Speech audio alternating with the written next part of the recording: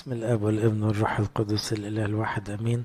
بفكركم بالتدريب الأساسي اللي عاوزين نطلع بيه إن كل واحد خلال الأسبوع ده يمسك إنجيل يخلصه مرة واحدة في أسبوع. يعني هترسى على ثلاث صحات غالبا في اليوم. من زاوية إن أنا بحاول أتخيل ربنا يسوع عشان أقلده. مش بف يعني دي الزاوية اللي هنركز عليها وإحنا بنقرأ. أي إنجيل تختاره لو عاوز الأصغر يبقى ماري مرقس إنجيل مرقس لو عاوز الكبير يبقى لوقا أو مايكا يعني براحتك. المهم إنه فكرة تعلمه مني كأنك قاعد في فصل كده بتتفرج على ربنا يسوع وبتتعلم منه. إحنا اتعلمنا شوية الهدوء اتعلمنا شوية الوداعة اتعلمنا الافتخار بالصليب اتعلمنا بعض الدروس من التجسد اتعلمنا إزاي الواحد يعلم زي المسيح المعلم. تعالوا نختم بطول الأنا طول الأنا يمكن ما جاتش ككلمة في كلمة تعلموا مني جت في كلمة ثمر الروح. لما قال ثمر الروح محبة فرح سلام طول أنا وطول الأنا دي مشكلة دلوقتي الناس كلها بالها قصير. يعني كله عصبي كله مستعجل. وربنا يسوع كان باله طويل وما زال باله طويل جدا. وطول الأنا ثمر روح يعني إيه؟ يعني الإنسان الروحاني باله طويل.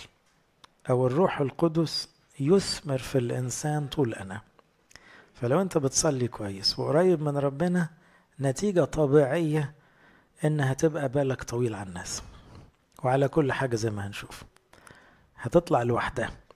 فلو انت عصبي ما تقولش أنا شخص روحاني ما يمشوش مع بعض. لو روحاني يبقى بالك طويل. يبقى لسه مش روحاني كفاية. خلينا نجاملك ونقولها كده. لكن إيه لو كنت إنسان مليان بالروح فعلا ثمر الروح نتيجة طبيعية للروحانية إنك أنت تبقى بالك طويل. ساعات تترجم كذا حاجة.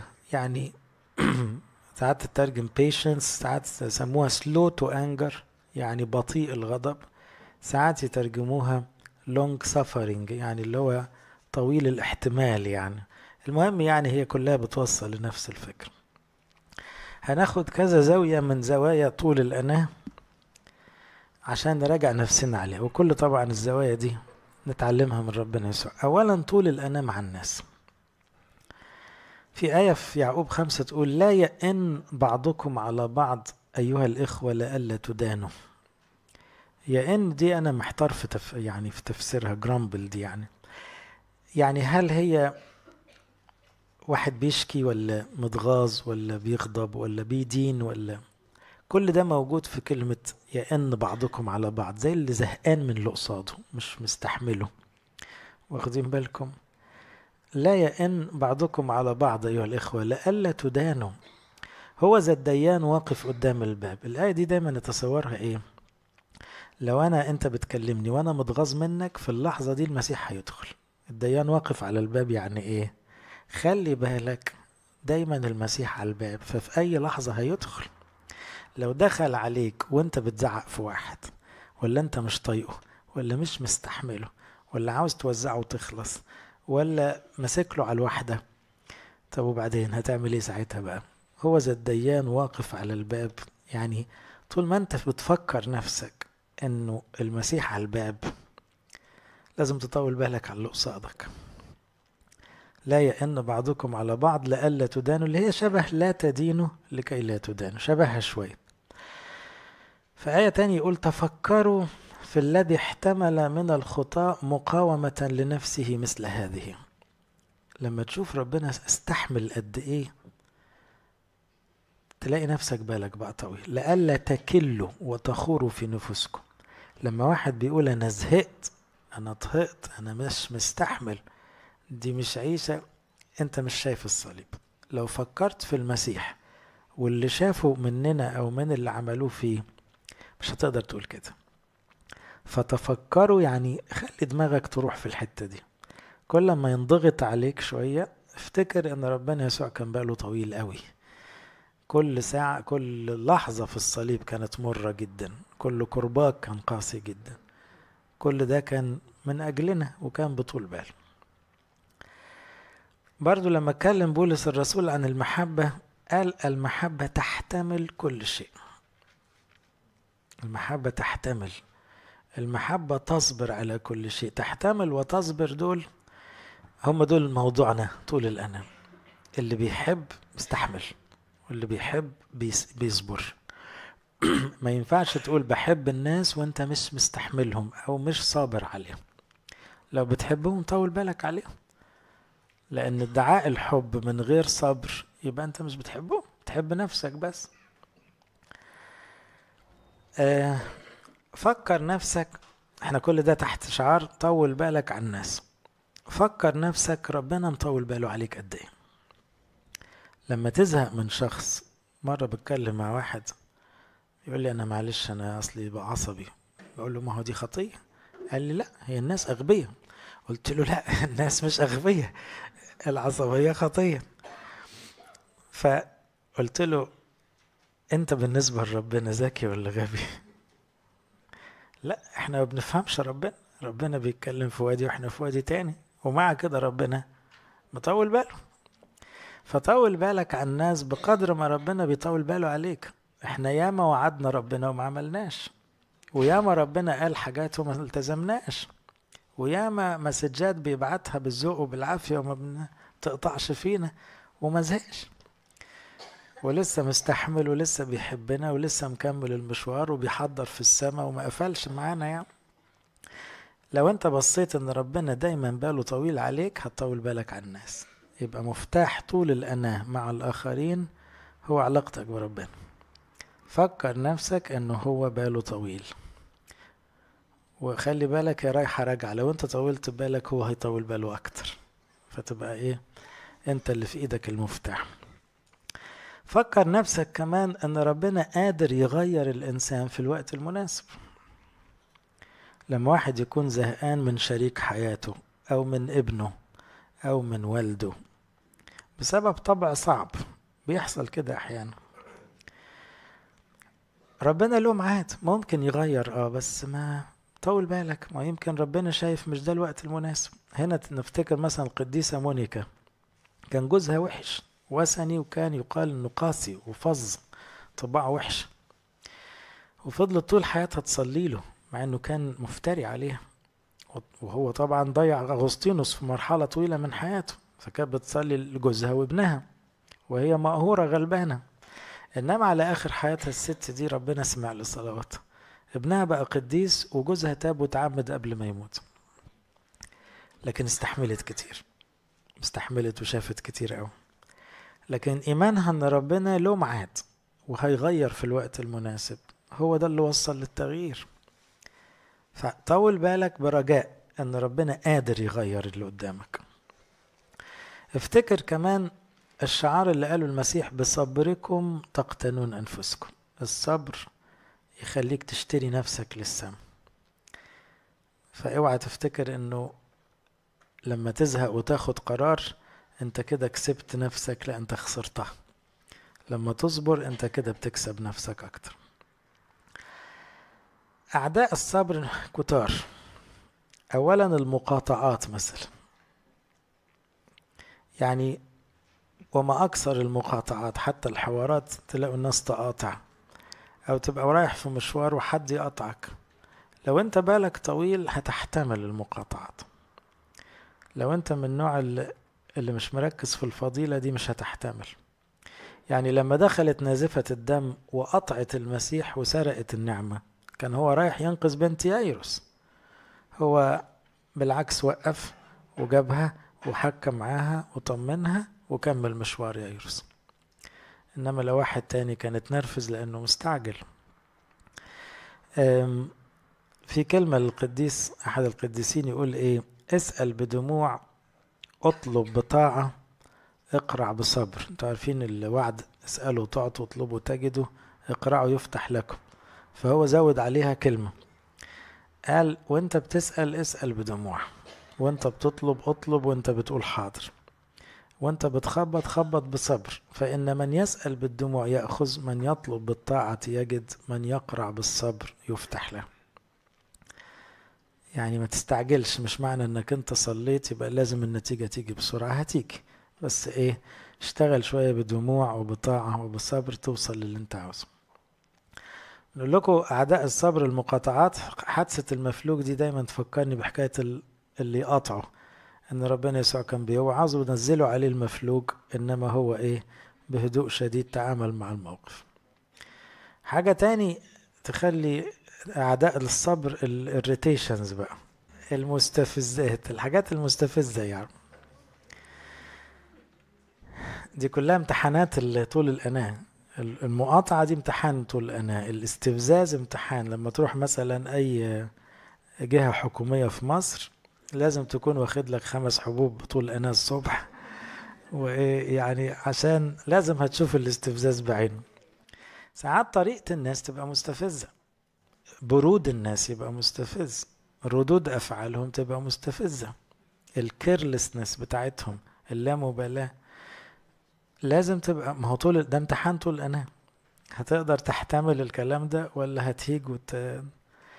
ساعات الكلام بيكون مستفز. يعني يبقى في كلام جارح أو في كلام بايخ أو في كلام طوب. ساعات الظروف تبقى مستفزة. إن يبقى الجو حر قوي أو برد قوي أو تراب زيادة. ما هو كل ده irritations. طول الأنا بيمتحن هنا. في واحد باله طويل. وفي واحد تلاقوه اعتراضاته ما بتخلص. في واحد يتخنق من قلة النظام. ما هو برضو ده امتحان. هتستحمله ولا لأ؟ صحيح إحنا بنحاول نصلح النظام لكن في أحيانا تضطر تحتمل. هتحتمل ولا مش هتحتمل؟ هنا نفتكر الآية بتاعت الجواب اللين يصرف الغضب. والكلام الموجع يهيج السخط. يعني إيه؟ حتى في المواقف اللي زي كده تعود تقول كلمة طيبة وتصرف غضبك وغضبك اللي حواليك. الحاجات برضو اللي تعادي طول الأناة المضايقات أو الحاجات الغير مناسبة. الشغل غير مناسب. ساعات الواحد يكون مش مستحمل شغله لأنه مش ماشي مع شخصيته أو مع الكواليفيكيشنز بتاعته. أكل غير مناسب. ده امتحان طول أنا لما تروح تلاقي الأكل مش على مزاجك. هتقبل عادي ولا هت... هتكشر؟ الوضع غير مناسب. النومة والقعدة مش مناسبة. كل دي حاجات امتحانات لطول الأنام. كل ما لا يتوافق مع رغباتك أو توقعاتك أو أهدافك أو حساباتك أو حقوقك. كل ده اختبارات طول الأناة عشان كده إحنا تقريبا يوميا بندخل في امتحان طول الأناة وبناخد زيرو من عشرة. لأن في حاجات كتيرة ما تمشيش مع رغباتك أو توقعاتك أو حساباتك أو هكذا. شوفوا معلمنا بولس مرة يقول إيه؟ لما أتينا إلى مقدونيا لم يكن لجسدنا شيء من الراحة بل كنا مكتئبين في كل شيء من خارج خصومات ومن داخل مخاوف. إذا حتى في الخدمة مفيش تسهيلات كتير. مع إن دي خدمة ربنا وممكن يخلي الملايكة شايلين خدامه. لا ربنا بيسمح إن ولاده جوه الخدمة يتضايقوا ويتشوكوا عشان يتعلموا فضيلة طول الأنا لو الخدمة سهلة مفيش أجر. لكن مع المتاعب والاستفزاز والمضايقات والظروف وال... وحاجات من جوه وحاجات من بره وحاجات من الخدام وحاجات من المخدومين وحاجات من فوق وحاجات من تحت كويس. كل ده يخلي الواحد في الآخر إيه يطلع صبور يطلع باله طويل يطلع شبه المسيح يبقى مكسبه كبير في الآخر. تاني نوع من الصبر أو طول الأناء في الضيقات. يبقى النوع الأولاني طول الأناء على الناس. النوع الثاني الصبر في الضيقات. كلنا في حياتنا بنتعرض إلى ضيقات. ضيقات دي يا إما أمراض يا إما ظلم يا إما ضائقة مادية يا إما خسارة شخص غالي قريب يا إما يعني حوادث حاجات كده. هنا أحيانا يكون كل اللي ربنا مستنيه مننا نتعلم الكلمة دي. درس الصبر أو درس طول الأناء. اصبر استحمل. طب في وجع معلش. طب ربنا يقدر يشيله مية في المية يقدر يشيله. طب مش بيشيله ليه؟ عشان هو مفيد. مفيد في إيه؟ الله أعلم. لكن مفيد فيبقى في درس واضح اسمه الصبر هنا. عشان كده معلمنا يعقوب بيقول احسبوه كل فرح يا إخواتي حينما تقعون في تجارب متنوعة ايا كان نوعها. عالمين أن امتحان إيمانكم ينشئ صبر. يعني نتيجة طبيعية لهذا الامتحان هو الصبر. هتتعلمه هتتعلم بالذوق بالعافية هتوصل له لترفص تكسر الدنيا هتاخده هتاخده ده سنة أولى ده. فأي ضيقة معناها صبر. وكلكم بخبراتكم في الحياة فاهمين المعنى ده إنه مع المضايقات بي... لازم هتوصل لكلمة الصبر بدرجة أو بأخرى. أما الصبر فليكن له عمل تام مش معنى إنك صابر إنك ما تعملش حاجة لأ do your best اعمل كل اللي عليك وتعلم الصبر برضه بنفس المعنى بولس يقول فرحين في الرجاء صابرين في الضيق مواظبين على الصلاة. لما تيجي ضيقة افرح قول بس أنا هترقى كده. هتعلم الدرس اللي ما كنتش عارف أتعلمه الصبر. واصبر عليها وواظب على الصلاة. فرحين في الرجاء يعني هتفك. صابرين في الضيق مواظبين على الصلاة. فعبرانية يقول لأنكم تحتاجون إلى الصبر. شوفوا الكلمة دي. إحنا محتاجين نصبر. محتاجين نتعلم. حتى إذا صنعتم مشيئة الله تنالون الموعد. يعني كأن الصبر هو مشيئة ربنا. إن الواحد فينا يتعلم يبقى صبور. إحنا ساعات نبقى عاوزين ننجز وخلاص. لا ربنا الإنجاز أسهل حاجة عنده. هيقول كن فيكون. إنما الأهم عنده إن أنت تكون اتعلمت الصبر وطول الأنام. نوع ثالث من طول الأنام الصبر على النفس. طبعا النوعين الأولانيين بالذات واضحين قوي في ربنا يسوع أنا يمكن ما ركزتش عليه كفايه ربنا كان بيقبل استفزاز من اليهود بأشكال مختلفة كان بيتشتم وكانوا بيغزوه وكانوا بيهنوه وبيلسنوا عليه وكان باله طويل جدا. عالضيقات طبعا ما فيش أكتر من آلام المحاكمة والصليب كانت آلام صعبة جدا وكان محتملها فإذا ربنا يسوع مثل الأعلى برضه في الصبر إن كان على الناس وإن كان على الضيقات. النوع الثالث هو الصبر على النفس. ساعات الواحد يكون يستحمل الناس ويستحمل الظروف لكن مش طايق نفسه ما يستحملش نفسه. يكون عنده توقعات في نفسه أعلى كتير من اللي بيحصل. فيبقى مش عارف يحب نفسه لأنها مش ماشية كويس. يبقى مش مستعجل إنه يتصلح فمش صابر على نفسه. تبان مثلا لما يكون الواحد مكتئب زيادة أو كاره نفسه أو متغاظ أو قرفان من نفسه. لا لازم تتعود تصبر على نفسك. نفسك بطيئة آه بس هو خلاص ربنا حبيبها على كده وقابلها على كده. فما تتضايقش منها زيادة لأنه ربنا قابلك على بطئك ده. يقول لا تشمتي بي عدواتي إذا سقطت أقوم إذا جلست في الظلم الرب نور لي. يبقى هنا ده واحد قابل نفسه على كده. فبيقول لها ويعني حتى لو وقعت هقوم. يبقى مش كاره نفسه لما بيقع لا بيقول هقوم مش هيحصل إيه وقعت هقوم. داود مرة يقول لماذا أنت منحنية يا نفسي؟ لماذا تئنين في؟ ترجى الله لأني بعد أحمده خلاص وجهي وإله الواحد عاوز يتعلم يطول باله على نفسه. يقول تأنوا أيها الإخوة إلى مجيء الرب. هو ذا الفلاح ينتظر ثمر الأرض الثمين متأنيا عليه. كتير من الشباب بالذات اللي يكون داخل على التدين جديد يجي بعد شهرين ثلاثة في الاعتراف يقول أنا زهقت من نفسي. نقول له يبقى أنت مش فاهم الحياة الروحية. أنت بس عشان مستعجل. حلوة الحماسة دي حاجة جميلة. بس إيه هو مش فاهم. هو أنت يا ابني فاكر أول ما حطيت رجلك في الكنيسة وابتديت تمسك الإجبية والإنجيل وبتاع هتبقى قديس بعد شهر؟ والتشبيه بقى اللي قاله لنا الكتاب بتاع الزراعة بينفعنا هنا. نقول له هو أنت بتحط البذرة في الأرض بعد شهر بتلاقيها شجرة؟ في شجرة بتطلع في شهر؟ طب ده أنت يبقى الطبيعي يبقى اللي أنت فيه طبيعي. حطينا البذرة وسقيناها والنبتة طلعت بس. طول بالك؟ ده إحنا معانا لسه سنين عشان نوصل للي ربنا عاوزه. فيبقى الفكر ده يهدي الواحد شوية. أنا في سكة طويلة مش هتخلص في أسبوع ولا شهر لكن في في فعلا تغيير. تأنوا على نفسكم.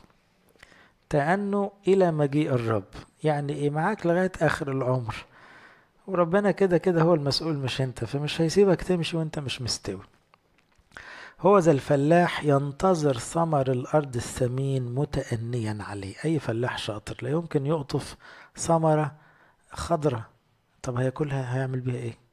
زي قلتها فما يستعجلش ويقطف الثمرة إلا لما تستوي. وده طريقة ربنا. لما يلاقي الواحد فينا استوى يقطف لكن طول ما إحنا عايشين يبقى لسه ما استويناش. حتى ينال المطر المبكر والمتأخر. يعني إيه؟ اوعى تفتكر عشان سمعت وعظة عن التواضع وخدت تدريب تواضع بقيت في شهر متواضع. لا ده مطر مبكر ومطر متأخر. ده لسه. دي سنين هتاخد على دماغك لغاية ما تتعلم التواضع. تأنوا شوفوا كم مرة يقول تأنوا. تأنوا أنتم وثبتوا قلوبكم لأن مجيء الرب قد اقترب يبقى هنا التأني على تغييري أنا. ما تستعجلش تغيير نفسك. مأمورية تغيير الواحد فينا أخطر مأمورية ودي شغلة ربنا وبيعملها بمزاج فما تستعجلش. بالعكس عاوز أقول لكم اللي بنلاقيه بيتغير فجأة بنخاف منه ونخاف عليه لأنه كتير ما يرد تاني فجأة. إنما اللي يتغير حتة حتة ده اللي يكمل على عادة. مرة شبهها واحد من الآباء وقال إيه فرق إنك تجيب شو شوية قش تولع فيهم وفحمة تولع فيها. القش تولع فيه ودقيقتين ويطفي يبقى رماد. الفحمة لما تولع فيها تطلع عينك عشان تحمر لكن وانس احمرت مش هتطفي بالسهل. فاهمين الفكرة؟ هي الحياة الروحية كده ناحية الفحمة دي. تاخد غلبة عشان السواد بتاعها يبقى يحمر بس لما أحمر تحط عليها فحم أسود يعني تعديه تحمره فاهمين الفكرة؟ فإحنا لازم نناهد شوية مع نفسنا ونبقى عندنا طولة بال مع نفسنا. نوع آخر من طول الأناة طول الأناة مع ربنا أو الصبر على ربنا. يبقى قلنا اصبر على الناس اصبر على المشاكل اصبر على نفسك اصبر على ربنا. طول بالك مع ربنا. أقصد بيها إيه؟ أقصد بيها الاستجابة. مشكلة ناس كتير برضو إن هم عاوزين بدل صلوا ربنا يستجيب على طول. وربنا في الحتة دي باله فعلا طويل زيادة لأن هو عنده حساباته. وفين لما نكتشف إنه اللي هو عمله في الوقت المناسب فعلا كان الصح؟ لكن إحنا دايما عاوزين النهاردة النهاردة وبالطريقة اللي إحنا عاوزينها. يقول انتظر الرب ليتشدد وليتشجع قلبك وانتظر الرب. استنى طول بالك استنى. جمد قلبك يعني إيه؟ ما يتهزش ما يقولش يبقى مش سامع يبقى مزعلان مني يبقى مش سائل فيا يبقى مش موجود. يا عم شجع قلبك شدد قلبك يعني إيه؟ ما تسيبوش يروح في الشكوك.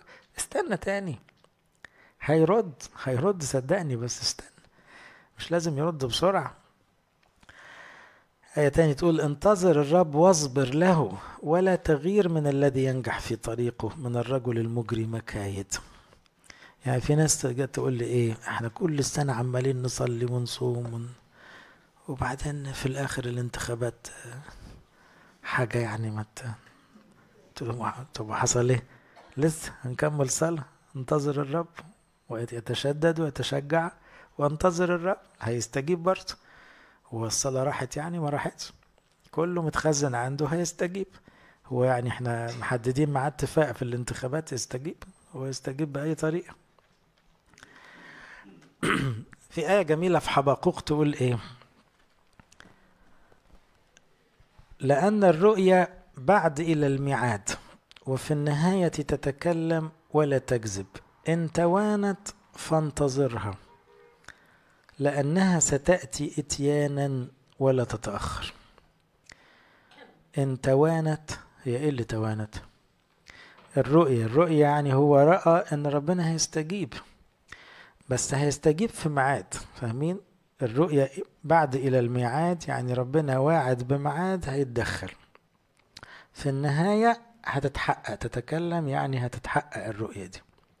ومش ممكن تكذب يعني اللي قاله ربنا ما يرجعش فيه أبدا. إن توانت فانتظرها. ما تشكش ما تقولش الله هو ما جاش ليه؟ طب وماله أنت يتهيأ لك إنه متأخر بس أنت مش ما نسيت الميعاد. أنت مش واخد بالك إنه ما هو محدد لها ميعاد. ستأتي إتيانا. لازم هتيجي. لازم وعده يتم. لازم يتدخل. ولا تتأخر. منين لا تتأخر وتوانت؟ أقول لكم اللي أنا فاهمه. توانت دي في نظري أنا. لا تتأخر في نظره. هو يعني إيه؟ أنا في نظري هو متأخر ليه؟ هو الوعد بتاعه ما تمش ليه؟ ما إحنا صلينا وصمنا. ما الناس تعبانة. ما في ناس كتيرة تابت لماذا تتوانى يا رب؟ وبعدين لما يستجيب يطلع لا صحيح متأخر. جت في الجون جت في الوقت المناسب. فهنا إن توانت فانتظرها ستأتي إتيانا ولا تتأخر. يعني أنت هتعرف إنها مش متأخرة بس لما تيجي. أنت يتهيأ لك إنها متأخرة. بحساباتك أنت. حساباته هو هي مش متأخرة ولا حاجة. هي محسوبة صح وليها ميعاد مظبوط. يقول ها نحن نطوب الصابرين. قد سمعتم بصبر أيوب ورأيتم عاقبة الرب. في واحد يقول بس الصبر ساعات ما يكونلوش ميعاد يعني إيه؟ افرض فقدت حد غالي. طب أنا هصبر على إيه؟ هتصبر لغاية ما تقابلوه في السما هو ده الميعاد. في ميعاد آه. وفي استجابة آه. ولا تتأخر يعني إيه؟ وإنت ماشي من الدنيا هتقول الكام سنة اللي عشتهم من غيره عدوا برضه. فتبقى إيه ان توانت فانتظرها لأنها ستأتي إتيانا ولا تتأخر. هتشوفه تاني وتفرح بيه تاني وتقول برضه هي عدت ولم تتأخر. يبقى كل الأنواع تيجي في القاعدة دي. ها نحن نطوب الصابرين قد سمعتم بصبر أيوب ورأيتم عاقبة الرب لأن الرب كثير الرحمة ورؤوف. ربنا دايما حنين ورؤوف لازم هيستجيب بس محتاج دايما مننا الصبر. اصبر على الناس الناس تتغير. اصبر على نفسك نفسك هتتغير اصبر على ربنا ربنا هيستجيب. اصبر على الضيقة تاخد الفايدة بتاعتها. لكن ما تصبرش هتفضل عصبي وهتفضل تعبان وهتفضل مش فاهم وهتفضل تخبط وترزع. وبصراحة ربنا ما يجيش بالطريقة دي. يعني إيه؟ عارفين لما نلاقي عيل بيرفص وبيزعق عشان ياخد اللي عاوزه نقول لأهله إيه؟ بنقول لهم إيه؟ سيبوه في حاله. مش كده؟ هو ربنا بيربيك بالطريقة دي. هتخبط راسك وترزع أنت اللي هتتعور. خليك عاقل واستنى هتيجي. فما فيش داعي من الغضب والاستعجال والعصبية والتذمر ما فيش داعي من الكلام ده. هتيجي. كل حاجة هتيجي. التغيير يحتاج إلى صبر. دي قاعدة مهمة بقى كده خليها واضحة. تغيير كل حاجة تغيير البلد يحتاج لصبر تغييري أنا يحتاج لصبر تغيير اللي حواليا يحتاج لصبر تغيير الأوضاع يحتاج لصبر. فما تستعجلش لأن ربنا قصد يحط في حياتنا الصبر. الشفاء الروحي يحتاج للصبر عشان خطية تتشال دي عملية مش سهلة. عشان في شك في دماغك يتشال خالص دي مش في يوم وليلة مش في اعتراف دي عاوزة سنين. عشان قلبك الضيق يحب أعدائك دي قصة صعبة. ده شفاء روحي. ده مرض مزمن. المرض المزمن ما يخفش في أسبوع. فكل أنواع الشفاء الروحي إن كانت ليك أو لغيرك خليك دايما واعي إنها محتاجة صبر محتاجة صلاة كتير محتاجة جهاد. طول بال. خلاص النفوس يحتاج للصبر. لما بتفرج ساعات على القنوات الغربية ويعني يعملوا حاجة كده إنه واحد يوعظ ويقول اقبلوا المسيح دلوقتي أنتوا خلاص خلصتم. بقول ما كانش حد غلب. يا سلام. هي الكلمتين والناس خلاص دخلت السماء وضمنت السماء. طب المسيح جه على الأرض ليه؟ وقعد يعلم ليه؟ وشاف الغلب ليه؟ إذا كانت الحكاية بالبساطة دي. لا ده, ده, ده مفهوم غلط. بالعكس ده في جهاد في مجاهدة في اجتهاد. البار بالجهد يخلص. اجتهدوا أن تدخلوا من الباب الضيق. الموضوع مش يعني صحيح ربنا عمل كل اللي عليه وأكتر بس إيه في الآخر الموضوع مش بالسطحية اللي بتتعرض. خلاص النفوس يحتاج إلى صبر. شوفوا الشخصيات عشان نشوفها كده عبر سنين. كتير من الناس اللي ساعات نودعهم كده يجوا أهاليهم يحكوا لنا قصة خلاصهم. هم أهاليهم اللي يحكوا فنتعلم منهم. يقول لك ده كان بعيد عن ربنا جدا. يا ما جاله كهنة ما سألش.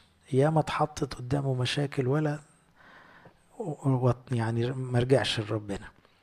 إنما ربنا وراه وراه لغاية آخر حياته ظبطه تمام وبقى أحسن من كل الناس. حكمتك يا رب يا صبرك يا رب. يعني سبعين تمانين سنة بتقسم عليه منهم ستين سنة بعيد وعنيد ومش سائل فيك. وانت ورا ورا هو ده الشغل. خلاص النفوس يحتاج إلى صبر. وهكذا خدمة الناس. يعني ساعات يبقى عندنا شباب معاند وبعدين نشوفه بعد سنين طويلة خدام زي الفل. أنا فاكر كان عندنا ولد مشاغب كل الفصل كان هيدخل بتاعه إعداد خدام إلا ده. فطبعا كانت أزمة. كل أصحابه عيال كويسين وده شقي جدا. فبعدين أنا مش عارف أقولها له إزاي. أنت الوحيد اللي مش ممنوع تدخل. النهاردة الكلام ده فات عليه عشرين سنة. النهاردة هو أمين خدمة ومن أحلى خدام الكنيسة. اللي في وقت كنا كلنا مجمعين ده ما ينفعش يدخل أساسا إعداد خدام. هيبوظ الفصل. مش مش هيستفيد من الإعداد لا ده هيبوظ الفصل. لكن هو خلاص النفوس يحتاج إلى صبر. إحنا بقى ساعات بنستعجل لمجرد اللي قدامي ده ما عملش الشغل مظبوط ما ينفعش ما ينفعش إزاي؟ ما كانش حد نفع. ماري مرقس أول مرة يطلع رحلة تبشيرية جري وروح ساب الشغل في أولها ومشي. ودي تاني مرة يعمل الحركة دي. أول مرة لما المسيح اتمسك هرب من سالة نفسه وساب الجلابية وجري. تاني مرة مع بولس الرسول لقى الشغلانة صعبة رجع تاني. إحنا لو من الناس ساعتها نقول لا لا اشطبوا عليه ده. ده خلوه بقى إيه يعني يقعد كده إيه يجمع ورق في الكنيسة مثلا ولا حاجة يلم شربات بقى مش كده يعني. أخره يعني. ده أخره. إنما ماري مرقس ده اللي بشر أفريقيا كلها. اللي هو وكتب إنجيل مرقس أول إنجيل يتكتب. كل ده لأنه ربنا وراه وراه وبرنابا فوق راسه وبولس فوق راسه يعني ناس حكيمة عارفة إنه التغيير وخلاص النفوس مش مأمورية بتاعت يوم وليلة. عاوزة شهور وسنين وعاوزة نفس طويل. النمو في الفضيلة يحتاج للصبر يعني إحنا مثلا خدنا امبارح الوداعة خدنا النهاردة الهدوء. الكلام شكله سهل. الواحد يعني بعد ما يسمع محاضرة عن الوداعة يتهيأ له بقى إيه؟ الابتسامة لن تفارق شفتيه والأسلوب بقى الايه الوديع. وبعدها بساعة تلاقيه يتنرفز ويزعق. طلعت الموضوع مش سهل. أيوه ما هو مش سهل. الفضيلة ما تجيش بوعظة ولا تيجي بكتاب. الفضيلة عاوزة سنين تركز فيها وتصلي لها وتدرب نفسك عليها وتقع وتقوم لغاية ما تتقنها. فتبقى فعلا تأصلت جواك إن كان الهدوء ولا الوداعة ولا الصبر ولا الحكمة ولا الحاجات دي مش بتاعت يوم وليلة. كل ده يحتاج صبر. إعداد الخادم يحتاج إلى صبر. عشان تعد خادم ما تستعجلش. ربنا يسوع أعد خدامه في ثلاث سنين. وخدهم إيه؟ عالزيرو العشار والصياد والغيور وال... كل واحد في عاهة. إنما فضل يقعوا ويقوموا ويلخبطوا ويتخانقوا ويقولوا مين الأعظم ويهربوا وقت صليبه اشتغل معاهم لغاية ما طلع منهم أبائنا الرسل. نختم بآية جميلة تقول إيه؟ الرب يهدي قلوبكم إلى محبة الله وإلى صبر المسيح. يبقى واضح إن الصبر ده أنا باخده من المسيح برضه. تعلموا مني. المسيح صبور. باله طويل على الناس وقلبه واسع. يحتمل كتير قوي. فربنا يهدينا كلنا إلى صبر المسيح بحيث يبقى الواحد عندنا عن مننا شبه المسيح في طولة باله. في صبره لإلهنا كل مجد وكرامة الأبد آمين.